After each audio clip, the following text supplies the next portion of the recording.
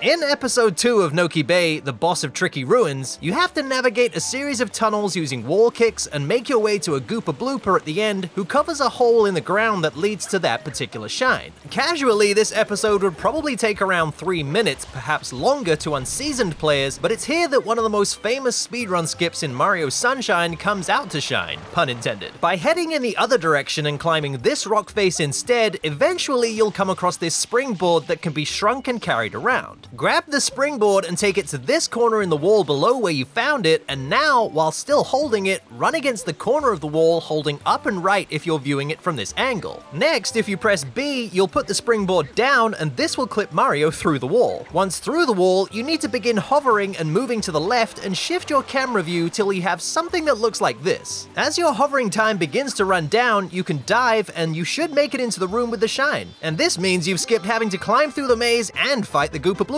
This skip is honestly incredibly simple, even though it looks intimidating, once you try it out, you'll see it's pretty basic. And I guarantee this is the way you'll get this shine every time now.